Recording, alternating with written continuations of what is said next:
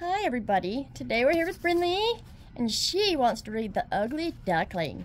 This one is AR testable. We took an AR test on it, didn't we? Yes. Okay. The Ugly Duckling. It was a beautiful summer day. The sun was shining down on an old house surrounded by a moat. Bushes, reeds, and flowers grew by the water's edge. In the shade of some big leaves, a duck was sitting on her nest, waiting for her eggs to hatch. It was taking a very long time, but finally, one after another, the eggs crackled and came out, the, and out came the ducklings. Only the biggest egg still lay there. The mother duck settled down again and waited for it to hatch.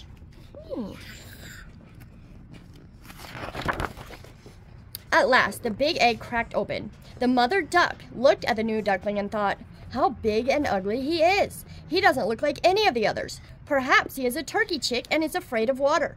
I'll take him to the moat and see if he can swim. Oh my goodness.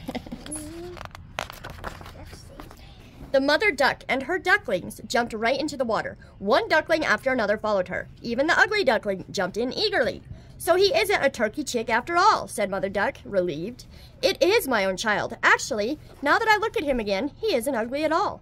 Feeling contented, she led her ducklings to a farm nearby. But when they reached the farmyards, the other birds began to ridicule the ugly duckling. They pushed him, pecked him, and chased him around the farmyard.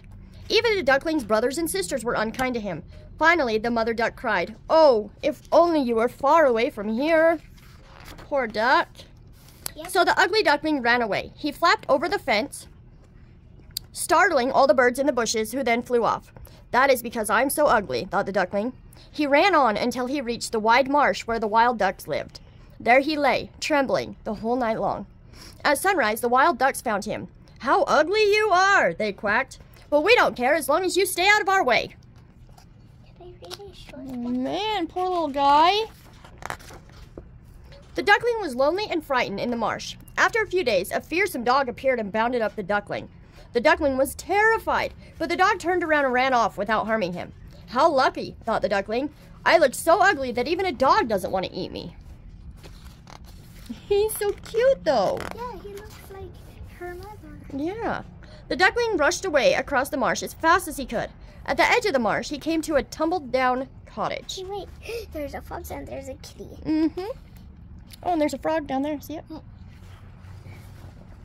The duckling slipped through a crack in the door. There he saw an old woman sitting by the fire with her cat and her hen. They allowed the duckling to stay for a while, but only at the back of the room. Now I will get some duck eggs, said the old woman, but the duckling didn't lay eggs. He sat sadly in the corner and dreamed of warm sunshine and swimming. Shunned by the cat and the hen, he went out into the world once more. Eventually, he came to a lake where he could swim and dive.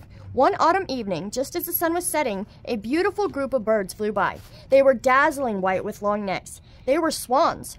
Although the duckling didn't know that, they thrilled him. He had never seen such beautiful birds. Look, they look like They do look like him, huh? Yeah.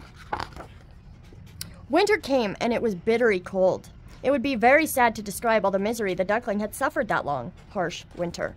He's grown now. Yeah, he's an adult. Wait, that's Izzy Swan. Mm-hmm. I think he is a swan. Yeah. Then one day, the warm sun shone again. It was spring. The duckling spread his wings and flew away from the dikes and the marshes and came to a lake. There he saw three swans gliding majestically over the water. I will fly to those beautiful birds, he said. They may peck me to death because I am so ugly, but it doesn't matter. So the duckling glided down onto the water and swam toward He's the swans. He's a swan. Yes, he is. Yep. That why he was so ugly.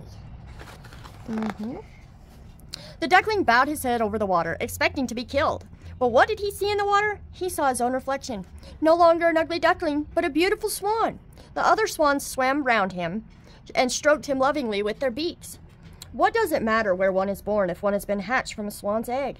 He remembered all the pain and misery that he had suffered, but now everything had changed. He raised his long, slender neck and trumpeted.